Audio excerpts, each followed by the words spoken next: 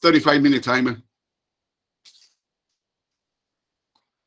35 minutes. Starting now. Mi inglés muy bueno, porque si ella entiende lo que yo le hago, hoy es un examen, todos los días tengo un examen de inglés acá.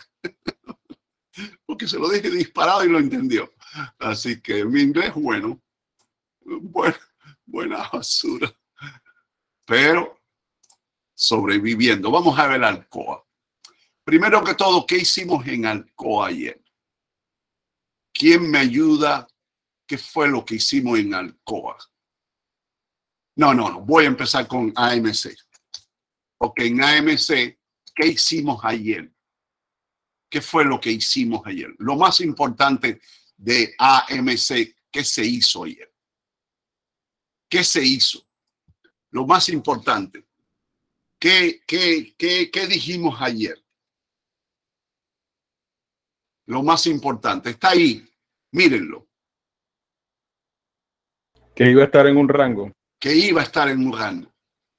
Y exactamente estuvo dentro de un rango. Teniendo en cuenta, ustedes tienen que entender, teniendo en cuenta, ella cayó un 5%. Alcoa cayó un 3.8%. Pero tienen que ver el rally de Alcoa. Esto fue una locura, señores. Ya llegué a un punto que yo no sabía cuándo cerrar el corto. Y había calculado, había calculado que si superaba 51.63 y estuve muy convencido porque veía un movimiento muy fuerte para que superara 51.63. Dice, si me supera EMA 50, uy, pero nada. Pero Trujillo me dio la alegría del día. Abrí un corto en el cruce de 3 y EMA 9. Y yo le pido a Dios que Trujillo no se desvíe del camino del Señor ni un minuto. Que no se desvíe de ese camino porque en ese camino están los secretos mejores guardados. Ahí, cruza EMA 3 y EMA 9 y él entra un corto, una situación que no es lo mismo que un largo. Y entra. Y entró, terminó, no sé cómo lo hizo la posición entera, pero miren eso, no, no paraba de caer. Y yo no quise entrar en el rango porque no me gusta operar en el rango. Eh, me equivoco muchas veces dentro del rango. Todo el mundo se equivoca mucho del rango, así que calculé los mínimos. Vamos a ver velas de 30 minutos, vamos a ver velas de 15. Calculé, vamos a buscar las velas. Calculé los mínimos de, de las velas que estaban en, en ese entorno. Ahí está. Y yo dije, bueno, este es ¿Qué estoy haciendo aquí ahora? Ay, Dios mío, esta, esta Emma, esta EpiPen, esta EpiPen se pone histérico. Vamos a ver. EpiPen, ah, se me va de las manos. Vamos, niño, ¿dónde tú estás ahora? Aquí. Vamos a ver. Y, y vi mínimos, mínimos y máximos, y ahí establecí mi zona de rango. Y dije, bueno, si cruza 51.10, sin ninguna ansiedad. Si cruza 51.10, entro. No porque estaba mostrando un cambio en mercado, porque ya EMA 3 y EMA 9 ya habían rotado pero yo quería estar fuera del rango y esto es un pensamiento que ustedes tienen que desarrollarlo. Yo quiero estar fuera del rango. Ahí está. EMA 3 y EMA 9 no había duda. Rotación acá, pero yo quería estar fuera del rango. Y no importa si perdí este margen, pero no quería estar en ese margen porque no estaba buscando un scarping. Quería sentarme y dejarla ahí que fluyera, porque iba a entrar cargado. No entré muy cargado. Ya no estoy ni en cinco miraciones, no estoy ni en tres miraciones. ¿Ok? Eh, los días de 14 mil acciones mm, no, hay, no existen. ¿Ok? Porque tengo mucha ansiedad. El mercado puede tener movimientos muy bruscos y no quiero, no quiero estar en, en la condición de ningún apellido. Quiero estar en la condición que se llama Navarrete. Sobrevive. Sobrevive. Así que miren toda esta caída. Velas de cinco minutos en este momento yo le escribo a Trujillo, no sé dónde cerrar, 50-89. Llegó 50, 74, 69 y de pronto vuelve a 89, me toma 91 y 6 cerrando. Y llegó a 51, 12. Cerré en 51 toda la posición, la logré completar en 51, 11. Un dólar completo.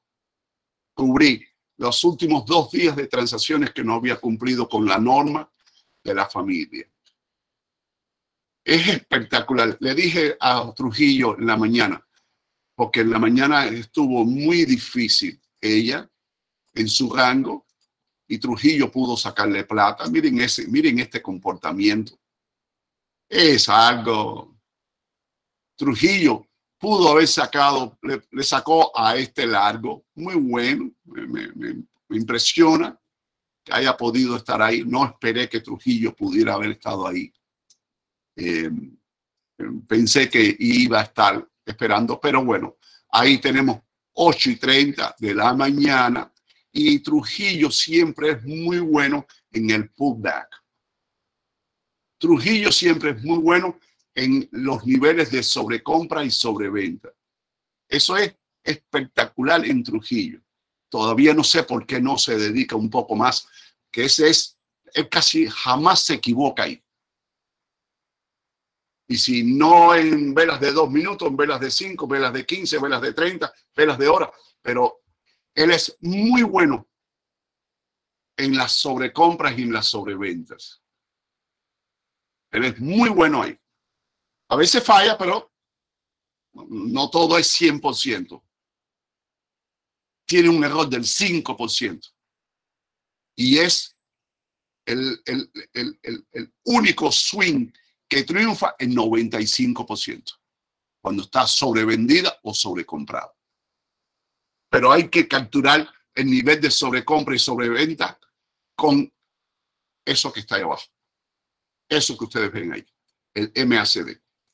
No se puede estar jugando en rotación de MACD y ella sobrecomprada porque va a seguir sobrecomprada o no se puede jugar en la sobreventa con el M en rotación de MSL porque va a seguir sobrevendida hasta que llegue un punto que se balancea y donde se produce el pullback en su desarrollo máximo del swing de ese de ese de esa rotación. Cuando rotan promedio rota MSL esa, esas rotaciones son muy volátiles. Hay que esperar que se balancee la cuenta. Y él es muy bueno en eso. Pero le dije, por la tarde vamos a tener, porque es que Alcoa en las tardes hace un movimiento muy volátil, pero muy organizado, sin, el, sin la ansiedad de la mañana de la apertura. Y es muy, eh, por eso eh, Alcoa me obliga a trabajar el día entero pero esto es tiempo de trabajar un poquito más, porque antes, recuerdan que yo trabajaba de 9 y 30 a 10 de la mañana y se acababa la fiesta. Ya con eso se ganaba todo, pero ya cambió todo. Ya cambió todo. Así que eh, ahí está. Mañana con Alcoa, ¿qué vamos a tener? ¿Quién me ayuda con Alcoa? ¿Qué vamos a tener con Alcoa mañana? Vamos a buscar vela del intraday. ¿Qué tenemos ahora mismo en Alcoa? ¿Qué tipo de, de vela tenemos ahora? Fíjense que estoy preguntando qué tipo de vela tenemos ahora. No me hablen de otra cosa. ¿Qué tipo de vela tenemos ahora? Maruoso. No, ¿qué tipo de vela tenemos ahora? ¿Qué tipo de velas? Más de una. Una vela de entrada. ¿Por qué? Mínimo superior al anterior mínimo superior a este y esta es superior a esta. Así que vamos a, estamos ahora en un pullback de retroceso porque está muy sobrevendido. En algún promedio está muy sobrevendida y hay que tener mucho cuidado con los cortos. En algún lugar está muy sobrevendida. A ver quién está sobrevendida. Bueno, aquí ya reaccionó a su nivel de sobreventa. Vela de confirmación del bebé abandonado. Así que Open Up termina maruboso, pero bueno, eso es, en aftermarket eso pasa, pero sigue estando los mínimos superiores a los anteriores. Así que eh, vamos a tener un Open Up con ella. Así que, que va a coincidir con el Open Up del mercado porque ha sido muy sobrevendida y, y hay que cerrar esos cortos. Alguien tiene que cerrar los cortos. Así que vamos ahora a AMC. AMC, lo primero que hicimos ayer era calcular, calcularle un rango. Y ustedes me perdonan, con el deterioro que tiene ella, es sorprendente que es la única que está positiva. Termina positiva. Perdió todo lo que avanzó. ¿Cuál fue el máximo de ella? 10.46. ¿Cuál es el máximo de rango? 10.47. ¿Cuál es el mínimo de rango? 9.34. ¿Cuál es el mínimo de ella? 9.45. Así que eso es lo que va a hacer ella ahora. Y esa es mi preocupación para el futuro de ella. Esa es mi preocupación porque ahora va a buscar un rango hasta que todos los promedios entran en ese rango y qué pasa después. La vela inteligente. La vela inteligente que se escapa y rompe esa estructura. Así que mañana, ¿cómo vamos a tener Open Gap Down o Open Gap Up para ella?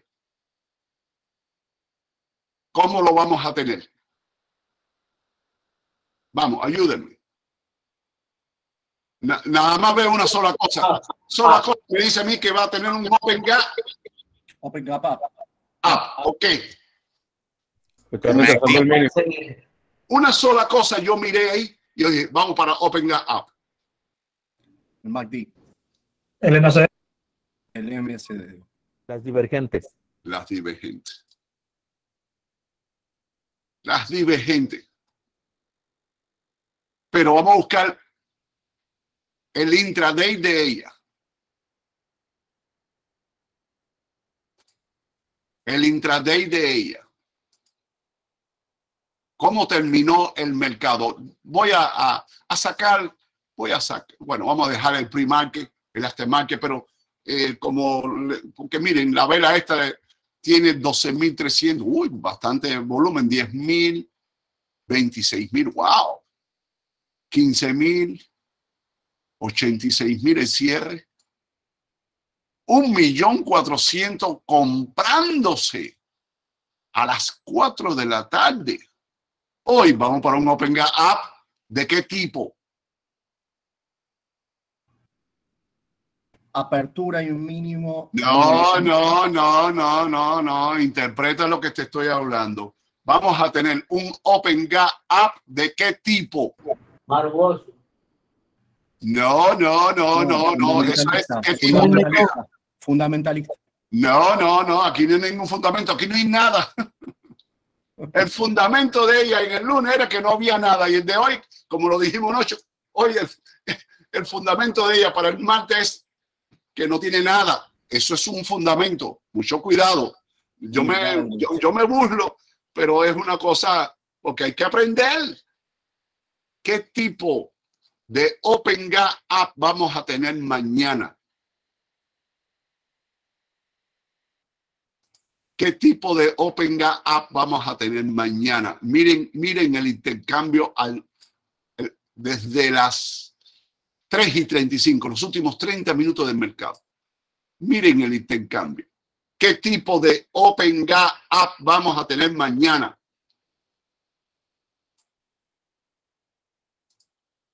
Pues sea técnico.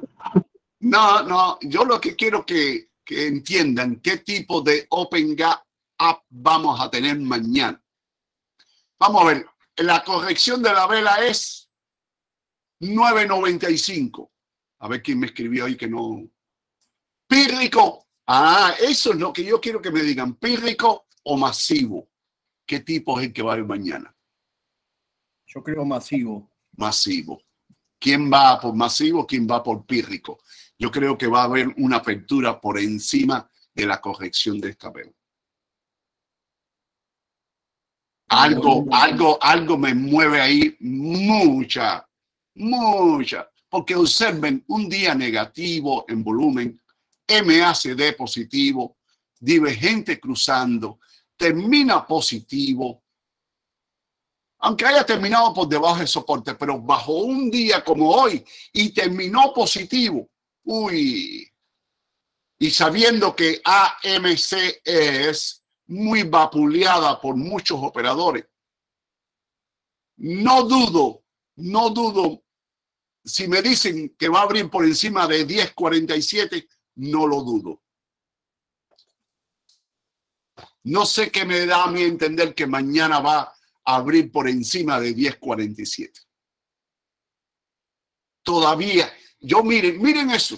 Díganme, mírenlo dos veces. Mi hijo dice, a 100 millas, cualquier defecto no se, no se nota. Pero miren eso. Mírenlo ahí.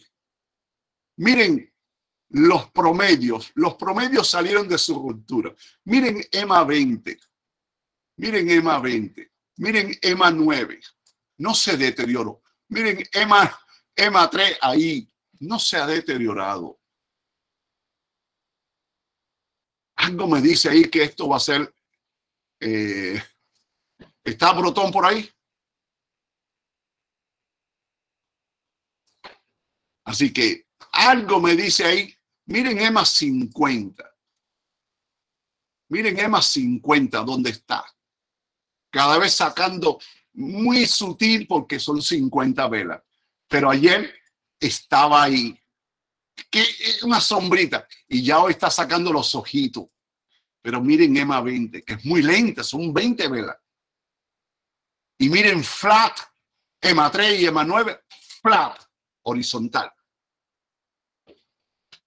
Miren ahora, miren la imagen esa. Voy a abrirla. Miren la imagen. Miren la imagen. Línea de ruptura. Voy a construir una línea de ruptura. Y ahora la tenemos acá. O sea, ahora yo tengo que ajustar la línea de ruptura.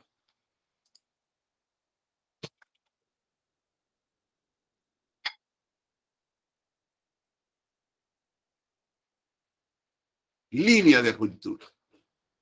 La apertura de ella va a estar aquí, por encima de la línea de la ruptura. No va a abrir acá, fuera de la línea de ruptura. No va a ser negativa.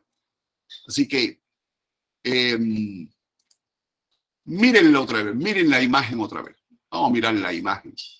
Miren, a ver si logran captar el sentimiento. El sentimiento en ella. ¿Por qué? Porque ella tiene una historia muy brava con sus open gap up y down, muy violenta, muy masivo. Un open gap down masivo. Miren este open gap up. Ese fue masivo, por encima. La presión que genera el mercado para que tú hagas un gapper, un open gap up, por encima de un promedio como la Bollinger, que mide nivel de sobrecompra excesiva y lo hace. Porque es que hay mucho pam, pam, pam en ella. Así que open gap enormes open gap en una volatilidad muy grande. Miren este Open Gap. Masivo. Así que tengo la impresión de que mañana ella nos va a sorprender con un Open Gap masivo. Un Open Gap masivo. Miren ese Open Gap. Cerrando y abriendo ahí. Miren dónde abre ella. Así que mañana tenemos un Open Gap Up. No dudo, no puedo hacer una estimación que sea por encima de 10.47, pero sí que sea por encima de corrección de la vela del día. Y ese sería un Open Gap Up. Open masivo por encima de 10.47 y tiene condiciones para abrir por encima de 10.79. ¿Por qué tiene condiciones para abrir por encima de 10.79? De alcanzar 10.79, de abrir por encima de 10.47, inclusive por encima de 10.79. ¿Por qué? No, nada de eso. Eso Por no el primer MACD. Porque Por- ya estuvo ahí.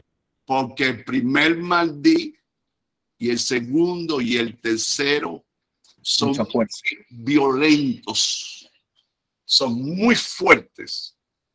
La rotación en sí, la rotación en sí del negativo al positivo, esta rotación es muy volátil. Es como que ustedes pongan una liga con dos lápices, como lo hacen los niños en la escuela, y empiezan a darle vuelta en- así contraria y después los suelten y parecen gallitos peleando. Eso es una forma de entretenimiento en mi infancia que los niños hacían siempre. Maestro, podemos poner 30 minutos. 30 minutos. Algo él vio en 30 minutos. Algo vio en 30 minutos. Dime qué quiere que vea en 30 minutos. Amplíala un poco más. No te oigo. Eh, dame más velas, por favor. Más vela. Ahí como la sostuvo de más 50. Está por encima de M50. ¿Y cómo se llama esa ley? De Trujillo. la ley de Trujillo, que dicho sea de paso, tenemos que tener cuidado porque para, La, la ley de Jesús. para colmo tenemos un alumno que se llama Cristian Trujillo. Cuando me llega Cristian Trujillo, ustedes tienen que ver el correo de este muchacho. Es idéntico, el, para que ustedes vean lo extraño que es la vida. El correo electrónico de Cristian Trujillo es idéntico a Cristian Trujillo con la diferencia de dos ceros. Cuando a mí me entra esta cuenta, yo le digo a Trujillo, Trujillo, ¿tú abriste una- un TC nuevo? No, mira quién era, Cristian Trujillo, que está en la clase, creo. Su correo electrónico y el de Trujillo, los dos, está escrito idénticamente con la diferencia de dos ceros. Te, te mandaron dos tazas. Que no quieres sopa, le mandan dos tazas. Sí. Sí, para colmo. Así que está por encima de más 50. En 30 minutos, vamos a ver en qué tiempo ha estado por encima de más 20. En, tren- en 15 minutos está por encima de más 20, que se llama zona de qué?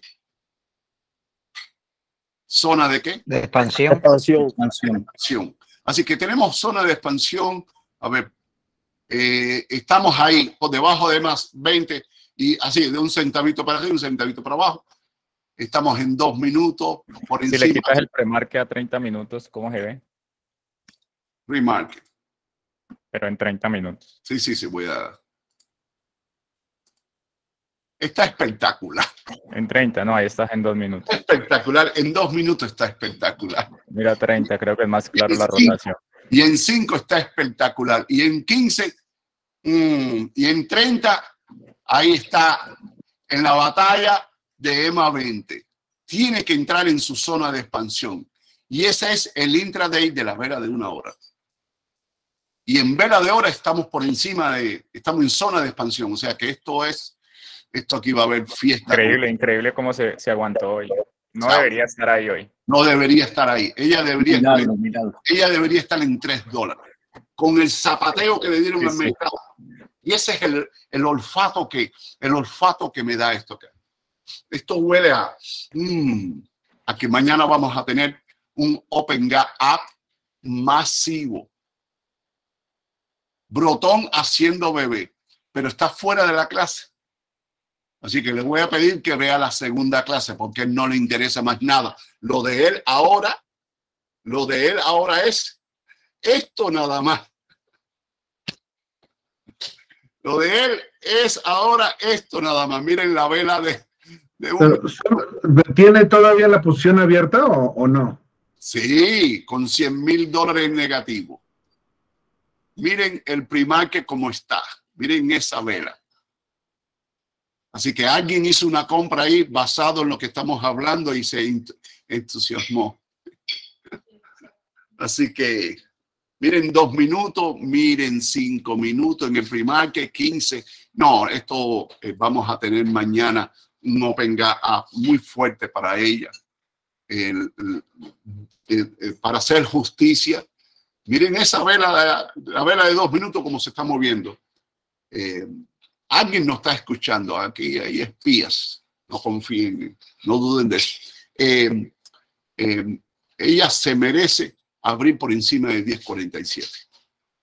Ella se merece romper el rango, que va a haber una apertura. Si se produce una apertura por encima de 1047, es un open gap up, ¿qué va a pasar con ella después? ¿Quién me, quién me hace un, un razonamiento? Es Brotón comprando que nos está escuchando. ¿Cuál es la pregunta, maestro? Si mañana se produce una apertura por encima de 1047, un open gap up, ¿qué va a hacer ella? ¿Qué hace siempre una apertura en open gap up? ¿Se corrige? Un open gap up abre, busca máximo, vuelve la apertura, crea una lápida y después busca el sur porque un Open Gap masivo mañana significa que va a estar por encima de las bandas en algún promedio. Va a estar muy sobrecomprado. ¿Ok? Así que eh, observen que ella, todos los Open Gap termina después muy débil porque siempre se... Esto, una, esto es una compañía meme, esto es un stack meme. Hace esta, es una característica de ella porque la llevan Miren cómo está el intercambio de esa vela. Miren el volumen. ¿Cuánto se está negociando ahora? 3.000 acciones y miren cómo sube y baja los pedidos. Así que, bueno, señor, se acabó la clase. Mañana ya tenemos todo lo que queremos. Dos clases de 40 minutos. Cuando ustedes tomen la decisión de abrir una posición, por lo menos dedíquenle 15 minutos. Miren, el Open Gap Up y, cae todas las veces que ustedes toman una decisión de abrir un activo, analizan la posición en menos de un minuto y se acabó. Y, eso provoca pérdida. Dos clases de 40 minutos para hablar de tres activos y- y un índice. Significa que eso es un poco de sentido común. Poco de sentido común. Hay que dedicarle tiempo para ir descubriendo todas estas características y después adquirir un sentimiento. ¿Cuál es el sentimiento del mercado? Y entonces depende del objetivo que usted quiera seguir, usted hace todo lo contrario del sentimiento del mercado o, o sigue el mercado. Así que señores, cuídense, ya se acabó la fiesta que tengo que ir a buscar a mi hija. Y ahora es el momento de tomar mi café con mi mi cortadito ahí en el patio con mi esposa. Ahí nos empezamos a, a, a decir cosas sucias, medias sucias, Sí, sucias, sucias, muy sucias. y sucias. Así que cuídense, voy a parar la clase. Muchas gracias, profesor. Gracias, profesor. Cuídense.